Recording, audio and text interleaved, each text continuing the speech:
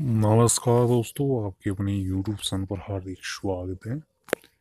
विभिन्न विद्यालयों में इक्कीस सौ इकसठ अस्थायी पदों पर होगी भर्ती। लेटेस्ट न्यूज़ है।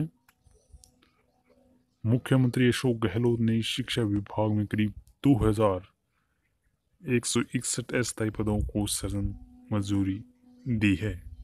नवसर्जित अस्थायी पदों में दो सौ इक्यावन पद हैं प्रधानाचार्य की, जबकि सात सौ चौहत्तर व्याख्याता के होंगे और दो सौ इक्यावन पद अध्यापक के।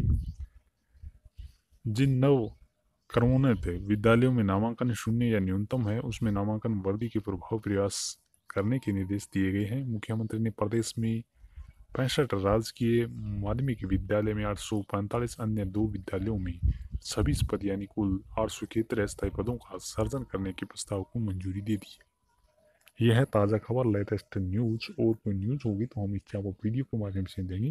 धन्यवाद।